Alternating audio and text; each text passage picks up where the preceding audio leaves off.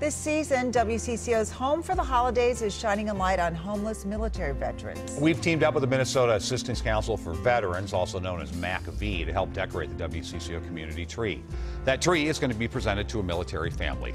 As Reg Chapman shows us, one family is passing along ornaments given to them in honor of service members and their sacrifice. The first thing anyone saw when they came in the door was that tree. For 13 years, a Christmas tree covered in red, white, and blue ornaments was the focal point of the Herman Spring Lake Park home.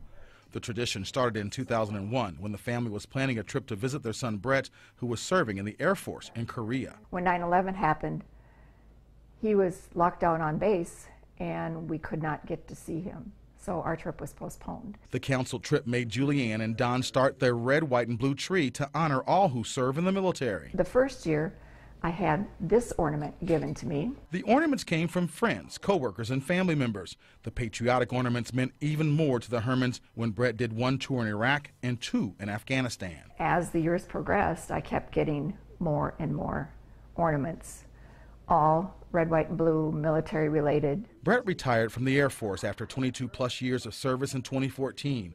It was a call for help from MACV on WCCO that made Julianne realize the ornament's mission was not complete. Right now, he's still he's training pilots for a private company, but that's what he does now. They donated many of the ornaments with hopes of spreading love, compassion, joy, and hope for the future. I saw it on TV that they were asking for ornaments, and I went, it just clicked.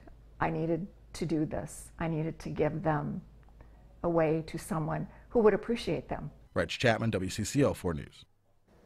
And we'd love your help to decorate this community tree. As you can see, a numbers of families have already sent us ornaments. The tree will be fully trimmed and then presented to a military family living in a MACV traditional home. If you'd like to help, just go to WCCO.com slash ornaments for the details.